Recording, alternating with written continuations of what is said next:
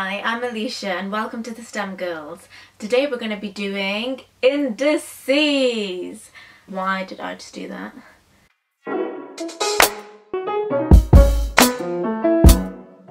Indices might seem basic, but we need to know the basic stuff inside out so we can move on to the harder stuff. And even as a uni student, sometimes I get confused. So today what I'm going to be doing is showing you six basic indice rules. Rule uno. If the indices are times together, you just add the powers up. So for example, if it was a to the power 7 times a to the power 3, the answer would just be 7 plus 3, which is 10. Easy peasy, lemon squeezy.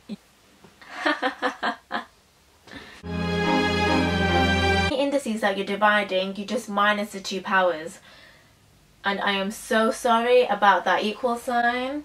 I don't know what I was thinking while I was writing it out. So for example, if we had a to the power 7 divided by a to the power 3, you would just get a to the power 4. If we see an indices in brackets with a power outside, you just times the two powers together. Okay, so for example, if we had a to the power 5 and then outside it was to the power 2, it would just equal a to the power 10, which is 5 times 2. On to the next rule. So rule number 4. We're going through these rules pretty quick, aren't we guys? Almost there. I don't even know. If you ever see a number or a letter to the minus power, you would just put it 1 over that power. For instance, if we saw a to the minus 5, you would just do 1 over a to the power 5, so the minus would go.